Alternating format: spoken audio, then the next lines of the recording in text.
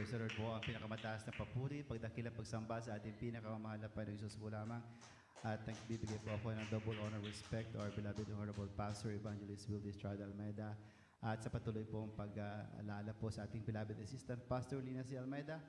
Ah, sa lahat po ng mga beloved Almeida children, magandang magandang ah, hapon po sa inyong lahat, sa ating mga beloved uh, folks and beloved teen and family dito sa California at ah, sa Texas. Maraming magandang hapon po sa inyo. Sa ating po mga beloved webcast viewers, sa ating po mga mahal na mga kapatiran dito po sa dako ng LA, magandang ah, hapon po sa inyong lahat. Napakabuti natin pinakamamahal na Panginoong Isus sa pagkakataon pong pinagkaloob sa akin upang siya ipapasalamatan sa araw na ito, mga minamahal. Ah, salamat sa pag-iingat natin, pinakamahal na Panginoon Isus, na nakarating po kami ng uh, malalahati dito po sa ah, sa dato po ng sambahan natin dito sa LA. Kaya hallelujah, praise the Lord. Ah, nagpapasalamat ako sa ating pinakamamahal na Panginoong Isus, pagamat hindi po karapat-dapat. Isa po ako sa kinahabagan ng pababilang po sa gawain ng The Jesus Miracle Crusade International Ministry.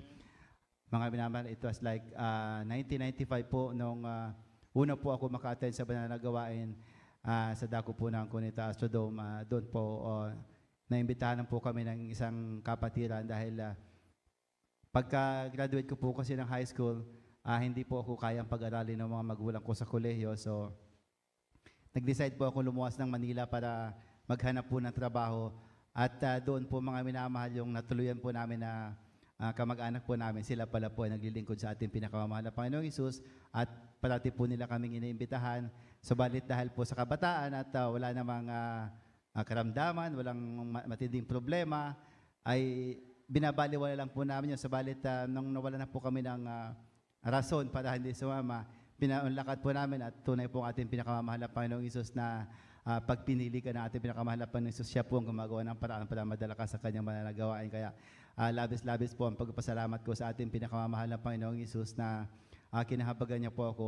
Ah, sabi ko nga po mga dahil po sa kahirapan na yon, ah, hindi po ako, dahil hindi makapag-aral sa koleyo, subalit nung nakakilala sa ating pinakamamahal na Panginoong Isus, pinagpala po, ah, nakatapos din po ng pag-aaral, kaya napakabuti po na ating pinakamamahal na Panginoong Isus. At ah, hindi ko po malimutan mga minamahal, yung uh, patutuko po mga minamahal na nung nasa kolehiyo po ako, yung fifth year na po ako sa college, ah, ah, dahil nga po mahirap lang ang buhay, parang ubos na yung, wala na pong pera yung parents ko, and then ah, sabi ko hindi na yata ako makatapos kasi isang taon pa. Subalit ah, nung matapos po yung fourth year ko, ah, bigla po ako pinatawag ng isa sa mga ah, professor po namin at binigyan po ako ng papel na pilapan ko daw po yun. Eh, yung pala po mga minamahal is ah, full scholarship for one year with ah, allowance pa po. Kaya napakabuti ating pinakamahal na Panginoong Isus na.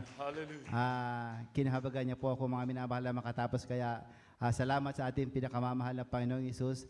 Ah, nandun din po mga minamahal ang ah, dito po ang pagbabago sa buhay. Talagang ah, totoo po ang ating ah, ah, sa unang panalangin ng mga pastor na binabago po ang buhay niya. Wala na po mga minamahal sa akin yung mga ah, makamuntong gawain po. Kaya salamat sa mahal na Panginoong Isus. Hindi po basta-basta yun sa balit ah, sa kahabagan lang po ng mahal na Panginoong Isus. At ganoon din po mga minamahal sa mga pagpapagaling po. Nandiyan po ang ating pinakamamahal na Panginoong Isus na ah, every time po na nagkakasakit po yung aking mga beloved ah, children, hindi na po namin inaasa sa sa medisina bagkos ah, sa unang dalangin po ng mahal pastor sa panalangin po at pag-ayuno, pinapagaling po yun ng mahal Panginoong Isus. Katulad po ng beloved son ko po nung mag- nagsimula po yung COVID talagang ah, ah, mga April pa lang po yon I think mga this time po ng ganitong buwan po, noong 2020 yung unang wave po talagang ah, nagkaroon po siya ng symptoms niya na halos sa yun i- yung pagbangon niya po na hirap na hirap na po siyang huminga. At talagang ah, hirap akala ko kukunin siya ng ating pinakamamahal na Panginoon Jesus dahil yung mga time na yun wala hindi pa naman masyado yung test yung uh, pagdala mo sa ospital eh baka pag uwi ay ano na ah, nakalagay na sa bote. Subalit nagtiwala kami sa ating pinakamamahal na Panginoong Jesus.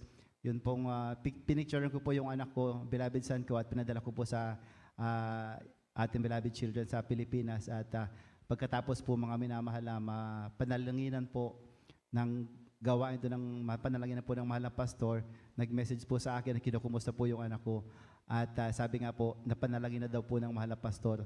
At tunay po mga minamahal, nung umaga po na yun ng Sunday po dito sa California, para lang pong nagdahilan na po, bigla pong pinagaling yung aking anak. Kaya maraming maraming salamat sa ating pinakamamahal na Panginoong Isus. Kaya Sino pong hindi maglilingkod sa ating pinakamamahal na Panginoong Isus?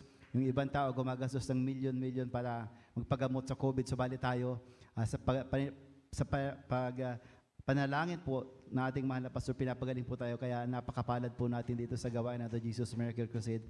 Ganon din po mga minamahal, ah, pagpapala pong physical, pinapasalamatan ko sa mahal na Panginoong Isus. At ganon din po na pinapasalamatan ko din po na kami po ay dati-dati na, nandiyan po sa may dako ng Fresno. So, three hours away po kami mula sa San Francisco. Subalit ngayon po, kinahabagan na po na nakalipat po sa dako ng San Francisco. Kaya maraming maraming salamat sa ating pinakamamahal na Panginoong Isus. Hallelujah, praise the Lord. Ah, hindi ko na po kahabaan mga minamahal. Ang lahat po ng kapurihan, kalawalhatian, kadakila at pagsamba sa ating pinakamamahal na Panginoong Isus po lamang. Praise the Lord.